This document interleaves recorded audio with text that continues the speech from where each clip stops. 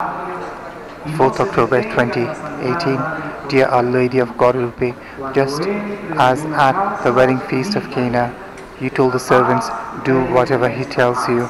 Please also let me always be able to do whatever he tells me. Hail Mary, full of grace, Lord is with thee. Blessed art thou amongst women, and blessed is the fruit of thy womb, Jesus. Holy Mary, Mother of God, pray for us sinners, now and at the hour of our death. Amen.